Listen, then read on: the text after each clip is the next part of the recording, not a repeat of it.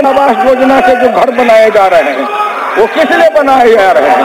हम लोग जिस समय समाजवादी थे, डॉक्टर लोहिया के आंदोलन में नारा लगाते थे, मांग रहा है हिंदुस्तान रोटी, कपड़ा और मकान।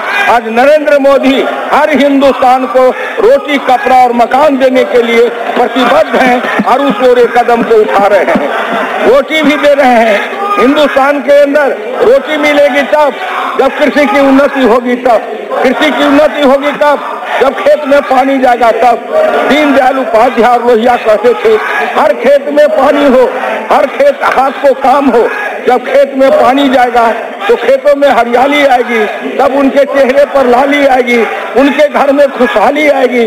और ये प्रधानमंत्री सिंचाई योजना के तहत जो हर खेत में पानी पहुँचाने का काम शुरू हुआ है। जिससे गाँव के निर्धन गरीब उनमें खुशहाल, उन्नति होगी, उनके, उनमें खुशहाली आएगी।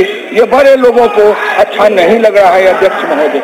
आज हिंदुस्तान में गाँव के अंदर जो किसान है, प्रधानमंत्री जी ने अभी सरकार ने घोषणा की है बजट में, किसानों को, हर किसानों को जो लघु सीमांत किसान है, पाँच एकड़ तक ज़मीन वाले किसान हैं, सबको छह हज़ार रुपया साल में दिया जाएगा।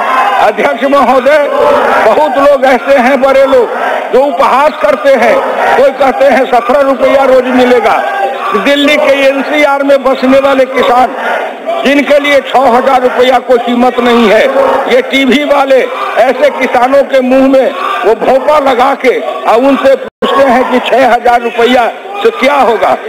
अध्यक्ष महोदय, जो दिल्ली के एनसीआर में हैं, उनकी सारी ज़मीन चली गई है, कारखाने बन गए, मानेसर के किसान से पूछा गया, मानेसर गाँव में मेरी रिश्तेदारी है, वहाँ किसी के पास में खेती की ज़मीन नहीं, सभी कारखाने में चले गए, थोड़ी बहुत ज़मीन है, उनके लिए छह हज़ार रुपया कोई कीमत है क्या?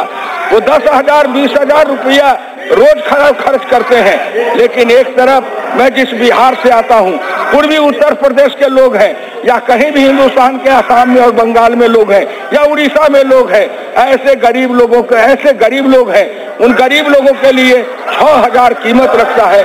उनके घर में, उनके घर में खुशहाली आ रही है।